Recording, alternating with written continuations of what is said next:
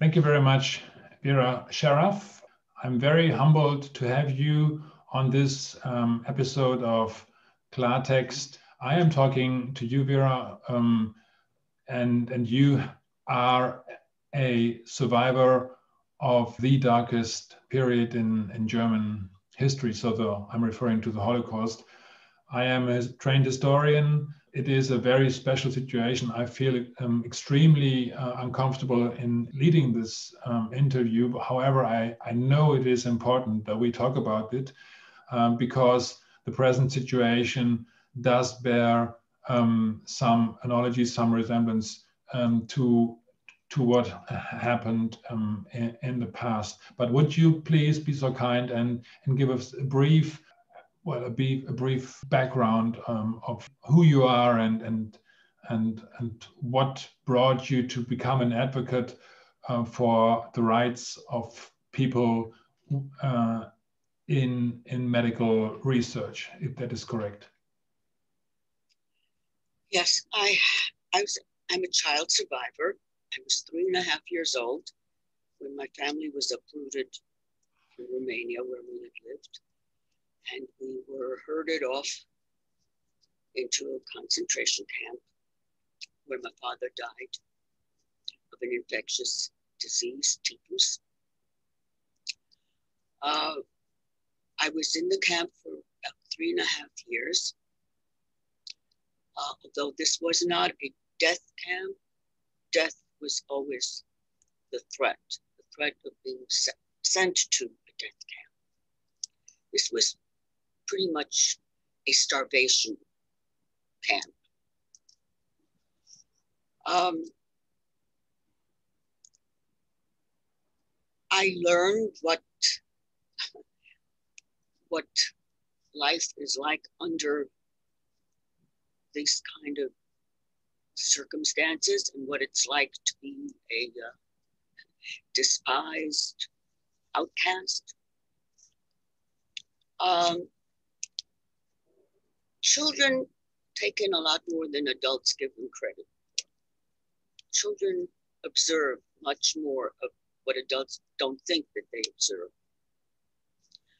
Um, I dreaded uh, being separated from my mother, my only parent at that point.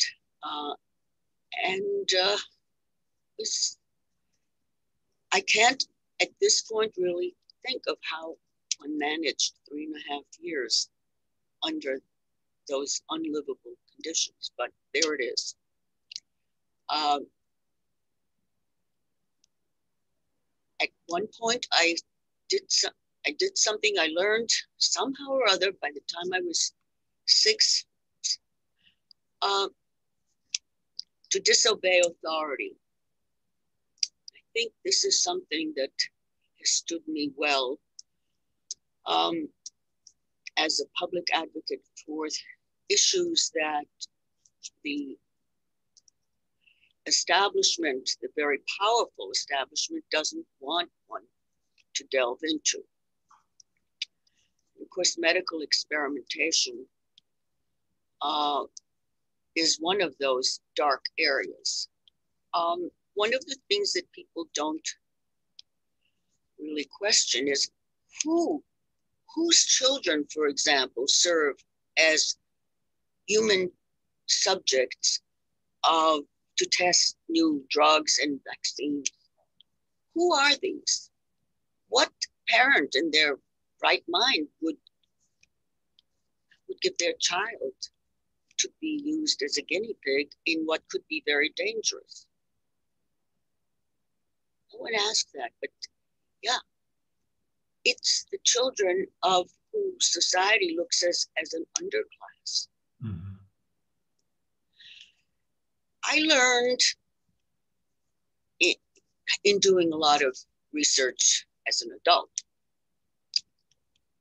that unless we look at each other as humanity being one species, the Holocaust can be repeated. The difference between the Holocaust and other genocides was the intimate involvement of the medical establishment.